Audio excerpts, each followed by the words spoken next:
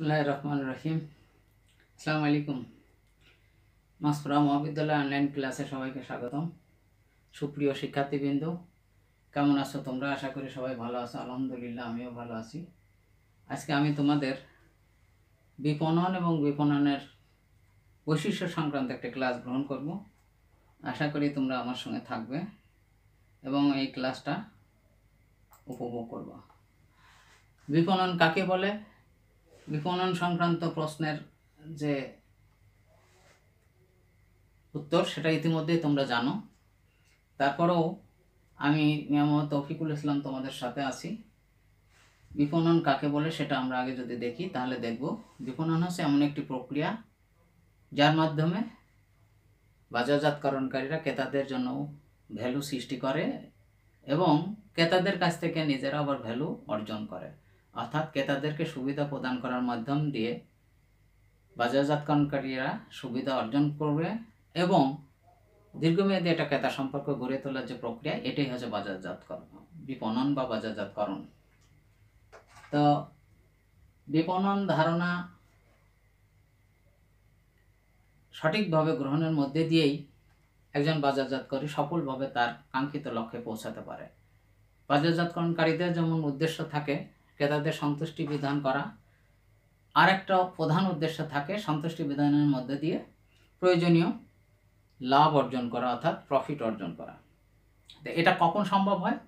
যখন ক্রেতাদের, তাদের কাঙ্ক্ষিত পণ্যটা, তাদের নির্ধারিত কাঙ্ক্ষিত জায়গায় পৌঁছে দেওয়ার মধ্যে দিয়ে তাদের সন্তুষ্টি বিধান নিশ্চিত করা যায়, তখনই একজন ব্যবসায়ী ক্রেতাদের সন্তুষ্টি বিধানের মধ্যে দিয়ে তার ব্যবসায়ের কাঙ্ক্ষিত বা বাজারজাতকরণের কাঙ্ক্ষিত লক্ষ্য পূরণ হয়।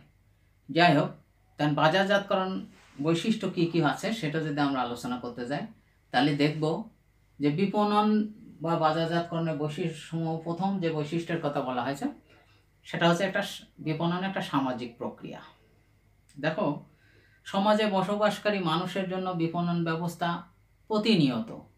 তাদের সন্তুষ্টি, তাদের ইচ্ছা, তাদের আকাঙ্ক্ষা পূরণের জন্য কাজ করে যাচ্ছে। অর্থাৎ ক্রেতাদের পছন্দ, অপছন্দ, ইচ্ছা, আকাঙ্ক্ষাকে গুরুত্ব দিয়ে তাদের কাঙ্ক্ষিত পণ্যটা তাদের কাছে পৌঁছে দেওয়ার মধ্যে দিয়ে সামাজিক কার্যক্রম সম্পন্ন করছে।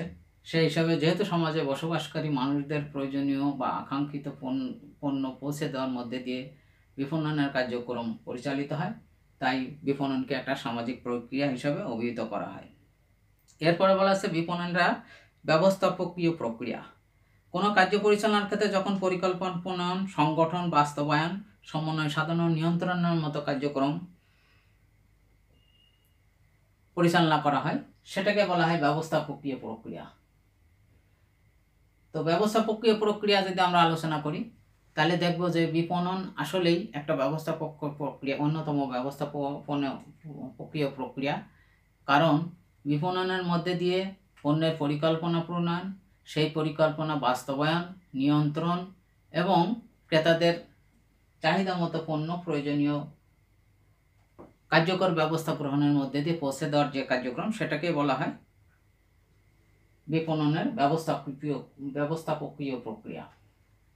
দ্বিতীয় নাম্বার হচ্ছে থার্ড হচ্ছে অর্থনৈতিক প্রক্রিয়া। বিপণন কার্যক্রম পরিচালনার মধ্যে দিয়ে অর্থনৈতিক কার্যক্রম পরিচালিত হয়। বিপণন যেমন ক্রেতাদের রুচি পছন্দের পণ্যটা পৌঁছে দেয়, দিয়ে তাদের কাছ থেকে যে সুবিধা অর্জন করে, সেই সুবিধা আবার বিনিয়োগের মধ্যে দিয়ে অর্থনৈতিক চাকাকে সচল রাখে। সে কারণে বলা হয় বিপণন এটি অর্থনৈতিক প্রক্রিয়া। এরপরে বলা হচ্ছে ভোক্তামুখিতা। বিপণনের সকল কার্যক্রম পরিচালিত হয় ক্রেতা বা ভোক্তাদের সন্তুষ্টি অর্জনের। যদি বা বিপণনকারীরাও ক্রেতাদের কাছ থেকে বা ভোক্তাদের কাছ থেকে তাদের প্রয়োজনীয় মুনাফা বা প্রফিট গ্রহণ করে। তারপরেও ভোক্তাদের আকাঙ্ক্ষা, ইচ্ছাকে পূরণ করাটাই হচ্ছে বিপণন কার্যক্রমের মূল লক্ষ্য এবং সেই লক্ষ্য বাস্তবায়নের মধ্যে দিয়েই তারা প্রয়োজনীয় সুবিধা ভোগ করে থাকে। তাই ভোক্তামুখিতা ও বিপণনের অন্যতম প্রধান একটি বৈশিষ্ট্য। এরপর হচ্ছে ক্রেতার সন্তুষ্টি।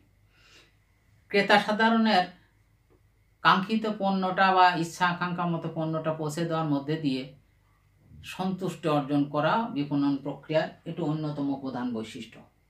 কারণ একজন ক্রেতা যদি সন্তুষ্ট হয়, একজন ভোক্তা যদি কোনো পণ্য ভোগ বা ব্যবহারের মধ্যে দিয়ে সন্তুষ্ট হয়, তাহলে কিন্তু সেই পণ্যটা সেই পরবর্তীতে ক্রয় করবে এবং অন্যদেরকেও সেই পণ্য ক্রয়ে আকৃষ্ট করবে।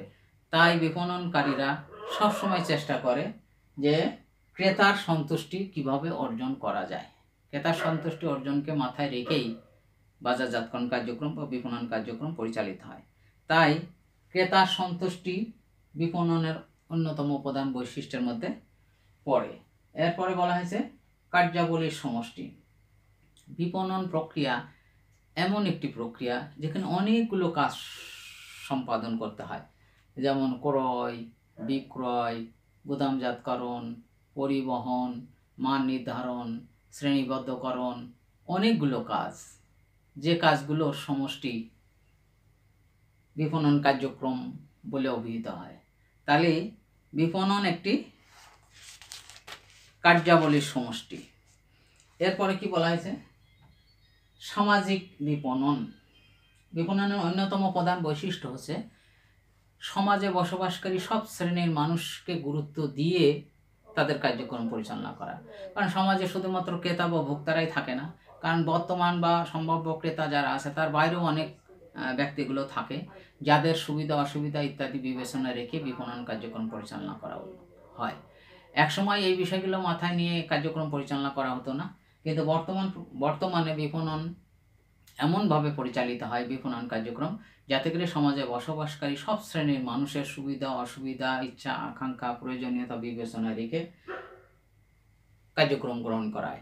ফলে বিপণনের অন্যতম প্রধান বৈশিষ্ট্যের মধ্যে সামাজিক বিষয়গুলো মাথায় রেখে বিপণন কার্যক্রম পরি- পরিচালনা করাটাও একটা বৈশিষ্ট্য।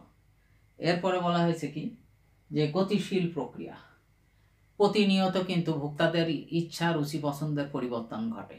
আর এই রুচি, পছন্দের ইচ্ছা, আকাঙ্ক্ষার চাহিদা পূরণ করবার জন্য বিপণনকারীকে প্রতিনিয়ত নতুন নতুন কার্যক্রম গ্রহণ করতে হয়। তাই বলা হয় বিপণন একটি গতিশীল প্রক্রিয়া। ব্যাপক আওতা। আসলে বিপণন কার্যক্রমের পরিধি ব্যাপক এবং এর আওতাটাও অনেক বড়। কারণ বিপণনের মধ্যে দিয়ে ক্রেতা সাধারণের চাহিদা পূরণ করবার যে কার্যক্রম, সেটা অনেক সময় বিভিন্ন কার্যকর পদক্ষেপের মধ্যে দিয়ে সম্পন্ন করা হয়। বিশেষ করে যে সমস্ত পণ্য দেশের গণ্ডির মধ্যে পাওয়া যায় না, অনেক সময় ক্রেতাদের চাহিদা, ইচ্ছা, আকাঙ্ক্ষা পূরণ করবার জন্য বিদেশের বাজার থেকেও সেই পণ্যর আমদানির মধ্যে দিয়ে তাদের চাহিদা পূরণ করা হয়। বিপণন প্রয়োগমুখী। আসলে বিপণন কোনো তাত্ত্বিক বিষয় না। বিপণন সরাসরি ক্রেতাদের চাহিদা, ইচ্ছা, আকাঙ্ক্ষাকে পূরণ করার মধ্যে দিয়ে এবং সংশ্লিষ্ট প্রতিষ্ঠানের মুনাফার্জনের মধ্যে দিয়েই সুসম্পন্ন হয়। তাই বলা হয় বিপণন প্রয়োগমুখী। মধ্যস্থ কারবারিদের অস্তিত্ব। মধ্যস্থ কারবারি কাকে বলা হয়? মধ্যস্থ কারবারি হচ্ছে একজন উৎপাদনকারী এবং চূড়ান্ত ভোক্তার মাঝামাঝি যারা অবস্থান করে এবং বিভিন্ন কার্যক্রমে অংশগ্রহণ করে, সেই ব্যক্তিদেরকে বলা হয় মধ্যস্থ, ব্যবসায়ী বা মধ্যস্থ কারবারি। তো বিপণন কার্যক্রমে উৎপাদক এবং ভোক্তার মাঝে অনেক সময় অনেক দূরত্ব পরিলক্ষিত হয়। সেই ক্ষেত্রে সরাসরি বাজারজাতকরণ করা যখন সম্ভব হয় না, তখন বিভিন্ন মাধ্যমের মধ্যে দিয়ে উৎপাদনকারীর কাছ থেকে ভোক্তারকারীর কাছে কাঙ্ক্ষিত পণ্যটা পৌঁছানোর কার্যকর ব্যবস্থা গ্রহণ করা হয়। ফলে বিপণনের মধ্যস্থ ব্যবসায়ীদের অস্তিত্ব পরিলক্ষিত হয়। উৎপাদনের পূর্বে ও ভোগের পরে। বিপণন কার্যক্রম কিন্তু আমরা যদিও বা অনেকেই বলে যে বিপণন হচ্ছে উৎপাদনের উৎপাদিত সামগ্রী চূড়ান্ত ভোক্তার কাছে পৌঁছানোর যাবতীয় কার্যক্রম। কিন্তু আসলে বিপণন কার্যক্রম শুরু হয় উৎপাদনের পূর্বে এবং ভোগের পরেও এর কার্যক্রম অব্যাহত থাকে। ভোগ বা ব্যবহার অর্থাৎ ব্যবহারকালীন সময়েও এর কার্যক্রম অবহিত, অব্যাহত থাকে। কারণ উৎপাদনের পূর্বেই চিন্তা করা হয় যে কি উৎপাদন করা হবে, কাদের জন্য উৎপাদন করা হবে এবং সেই সংশ্লিষ্ট ক্রেতাদের রুচি, পছন্দ, ইচ্ছা, আকাঙ্ক্ষাকে গুরুত্ব দিয়ে তাদের প্রয়োজন, প্রয়োজনটাকে মাথায় রেখে পণ্য উৎপাদন করা হয় এবং যাদের জন্য পণ্য উৎপাদন করা হয় তাদের ক্রয় সক্ষমতা কেমন সেটাও মাথায় রাখা হয়। কারণ এমন পণ্য উৎপাদন করা তাদের জন্য সমস্যা না যেটা তাদের ক্রয় ক্ষমতার বাইরে থাকবে। সেক্ষেত্রে মূল্য নির্ধারণ করা পণ্যটা সঠিক সময়ে কাঙ্ক্ষিত ক্রেতাদের কাছে পৌঁছে দেওয়াটাও বিপণন কার্যক্রমের মধ্যে বা বৈশিষ্ট্যের মধ্যে পড়ে। তাই উৎপাদনের পূর্বে এবং ভোগের পরে ভোগের পরে বলতে এমন অনেক পণ্য আছে যে পণ্যগুলো দীর্ঘমেয়াদী ভোগ বা ব্যবহারের প্রয়োজন পড়ে। সেই পণ্যগুলো দীর্ঘমেয়াদী ভোগ বা ব্যবহার নিশ্চিত করবার ক্ষেত্রে বিভিন্ন ধরনের সুবিধা প্রদান করা হয় যেটাকে বিক্রয়ুক্ত সেবা হিসাবে চিহ্নিত করা হয়। এর মধ্যে আছে ওয়ারেন্টি এবং গ্যারান্টি। তোমরা জানো সুপ্রিয় শিক্ষার্থীবৃন্দ ওয়ারেন্টি হচ্ছে কোনো পণ্য যদি ত্রুটিযুক্ত হয়, তাহলে সেটাকে মেরামত করে দেওয়া, আর গ্যারান্টি হচ্ছে ত্রুটিযুক্ত পণ্যকে বদলিয়ে দেওয়া বা রিপ্লেসমেন্ট করা। তো সেই বিষয়টাই বিপণনের বৈশিষ্ট্যের মধ্যে পড়ে, অর্থাৎ উৎপাদনের পূর্বেও বিপণনের কাজ শুরু হয়, আবার ভোগের মাঝামাঝি সময়ে বা ভোগকালীন সময়ে বা ভোগের পরেও বিপণনের কার্যক্রম অব্যাহত থাকে। এটা বিপণনের বৈশিষ্ট্যের মধ্যে পড়ে। বিনিময় প্রক্রিয়া। বিপণন অন্যতম একটি বিনিময় প্রক্রিয়া। বিনিময়ের মধ্যে দিয়েই বিপণন কার্যক্রম সুসম্পন্ন হয়। তোমরা জানো যে একজন বিক্রেতা, যখন কোনো পণ্য বিক্রি করে, সেই পণ্য একজন ক্রেতা প্রয়োজনীয় অর্থের মধ্যে দিয়ে ক্রয় করে এবং পণ্যের মালিকানা গ্রহণ করে। এই যে বিনিময় প্রক্রিয়ার মধ্যে দিয়ে পণ্যের মালিকানা হস্তান্তর হয় এবং মালিকানা হস্তান্তরের মধ্যে দিয়েই একজন ক্রেতা যেমন একটি পণ্যের মালিকানাত্ব গ্রহণ করে ঠিক একইভাবে একজন বিক্রেতা বা একজন বাজারজাতকরণকারী সেই পণ্য হস্তান্তরের মধ্যে দিয়ে তার কাঙ্ক্ষিত মুনাফা অর্জন করে। তাই বলা হয়, বিপণনের অন্যতম বৈশিষ্ট্য, প্রধান বৈশিষ্ট্য আছে বিপণন একটি বিনিময় প্রক্রিয়া। এরপরে বলা হচ্ছে উদ্দেশ্য অর্জন প্রক্রিয়া। দুইটা উদ্দেশ্য থাকে, একটা ক্রেতার পক্ষ থেকে উদ্দেশ্য আর একটা আছে বিক্রেতার পক্ষ থেকে উদ্দেশ্য বা বাজারজাতকরণকারীর পক্ষ থেকে উদ্দেশ্য। ক্রেতার উদ্দেশ্য হচ্ছে তার কাঙ্ক্ষিত আকাঙ্ক্ষিত পণ্যটা, সঠিক মানের পণ্যটা গ্রহণ করা বা পাওয়া। আর বিক্রেতার উদ্দেশ্য হচ্ছে, ক্রেতার ইচ্ছা, আকাঙ্ক্ষা, রুচি, পছন্দ অনুসারে তার কাঙ্ক্ষিত পণ্য সরবরাহের মধ্যে দিয়ে তার মুনাফা অর্জনের যে উদ্দেশ্য, সেটা সুসম্পন্ন করা। তাই বলা হচ্ছে, বিপণনের অন্যতম বৈশিষ্ট্য হচ্ছে উদ্দেশ্য অর্জন প্রক্রিয়া। অর্থাৎ ক্রেতা এবং বাজারজাতকরণকারী দুইজনেরই উদ্দেশ্য বাস্তবায়নের একটি প্রক্রিয়া। সমন্বয় সাধন প্রক্রিয়া, বিপণন কার্যক্রম এমন একটি প্রক্রিয়া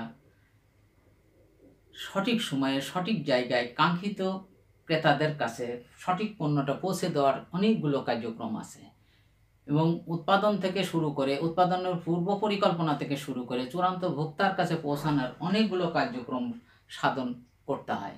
এই কার্যক্রমের মধ্যে আন্তঃসম্পর্ক সঠিকভাবে সমন্বয় করাইটাই হচ্ছে বিপণনের অন্যতম প্রধান বৈশিষ্ট্য।